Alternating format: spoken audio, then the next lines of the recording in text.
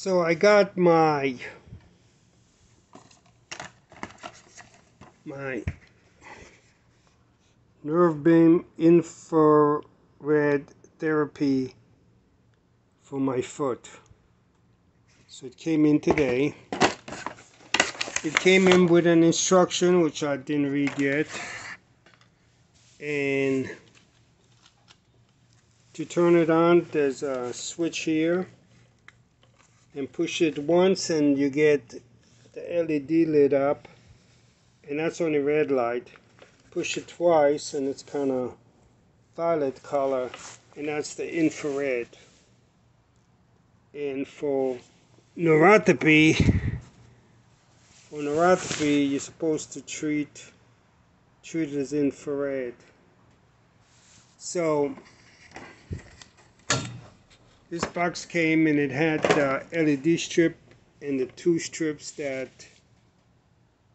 that go around it. So I will kind of take it apart and kind of show you. But this is how you do it. It has a built-in cycle for the time and I have no idea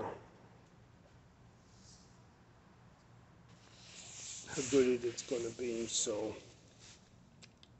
that's that's that's what it looks like. And I'm gonna take it apart to kind of show you the way it came uh, came in. Since I had to assemble it to show you guys how, to, it works. So I'll turn it off. Okay. It has a plug. In fact, I'm gonna take the this off. It came with two straps. One strap here and one strap here. You make this loop so it go over your foot. You do this loop to go over your leg. And it has two connections. The first connection is if you get a second boot for your second leg, so it would take you half the time to do it then you'd use this connection. It came with that. It came with a little connection. I don't it came with a little connection I don't exactly know how maybe it's for connecting them also real close. Then it came with another connection. So it has one connection with the power supply, one connection for the second strap if you're going to do it on both legs. And it came with a transformer and a plug into the LED. I'm looking forward to using it.